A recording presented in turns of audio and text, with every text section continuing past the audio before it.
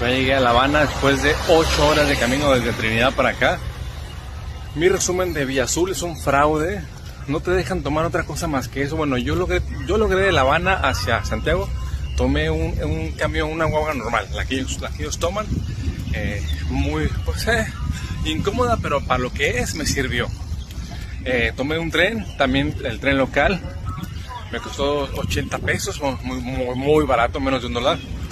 Tomé taxis y únicamente el tramo de Trinidad a, La Habana cogí vía azul, que es digamos el, el, que es para turismo, el que dicen que es más cómodo, que es más rápido, que es más, más VIP, pero no es cierto. Es cómodo, sí es muy cómodo por dentro, amplio, bien es muy cómodo, pero se viene parando por todos lados, no es más rápido, son igual de groseros que la, que la normal.